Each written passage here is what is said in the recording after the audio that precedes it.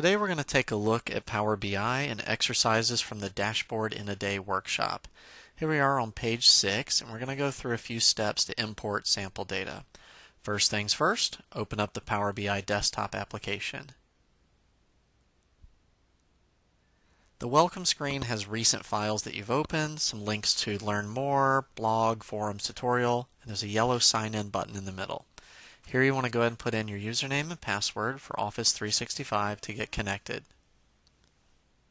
Now that we're logged in, you can see your name in the top right as well as your account in Office 365.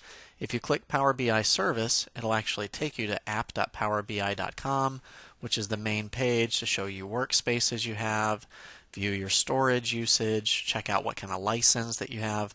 By clicking the gear icon in the top right, you can do manage storage and here you'll see if you have a free or pro license. Excellent shortcut for finding out what kind of license someone has. Okay, back on the exercise document, we want to start with step one, launching the Power BI desktop. Do sign in, step two. Now we're on step three, file options and settings. So let's go ahead and check that out. File, Options and Settings. And here we want to look at regional, locale, and select English. So regional settings. Down on the bottom, locale is English. Looks good. Next we want to load some data, so hit OK. We'll do Get Data, and we're going to select Text CSV. From here, we want to go to Dashboard in a Day, Data, U.S. Sales, BI Fact.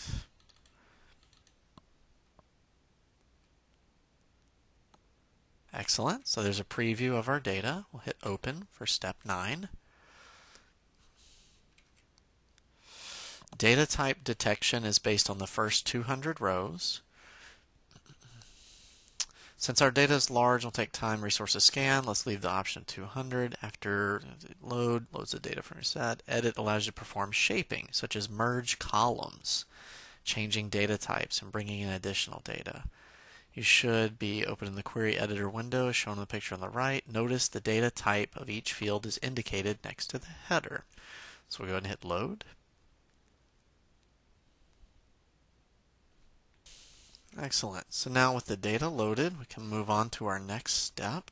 you see product ID, date, zip, units, and revenue. Matches our screenshot. Looks good. And over here in the relationships tab, we see that's the only source we have loaded right now.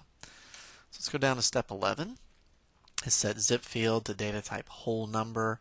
To ensure that zip codes that don't start with zero lose the leading zero, we will format them as text. Change the column type. Right click. Data type to text. Modeling data type whole number. Change it to text. Right up here in the toolbar.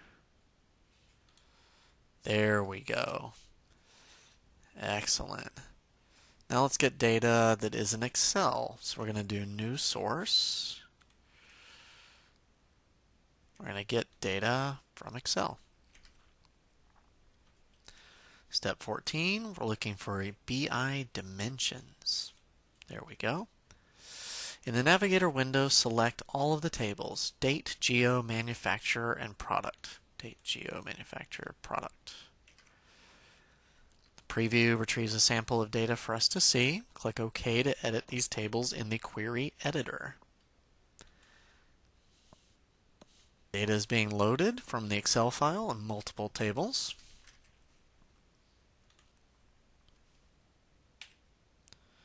Seventeen, we want to do new source, more, additional data. In the Get Data dialog, select Folder as shown and click Connect. Click Browse for Folder to navigate to the location of DIAD, Dashboard in a Day, Data International Sales. Okay, we can do that.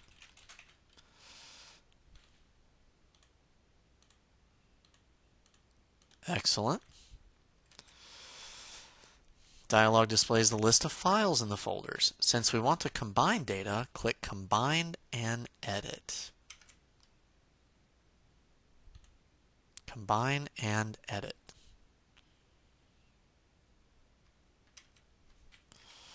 The Combine file dialog shows by default Power BI detects data type based on the first 200 rows. There's also an option to select each individual file in the folder using example file dropdown. Select OK. So we're going to use the default settings here. The example is the first file. The delimiter is a comma and the data type is inferred based on the first 200. This gives us a preview of the data. We'll go ahead and hit OK to load the files in that folder.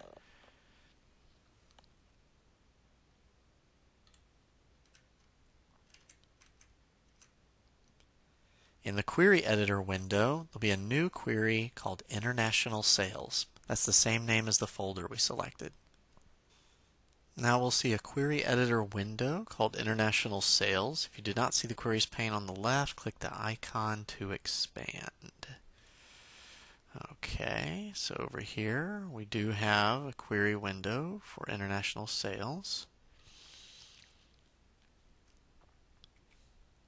We notice that the column zip is of type whole number. Let's change it to text as before. So step 33, we're going to highlight the zip column and change the data type to text using the toolbar above.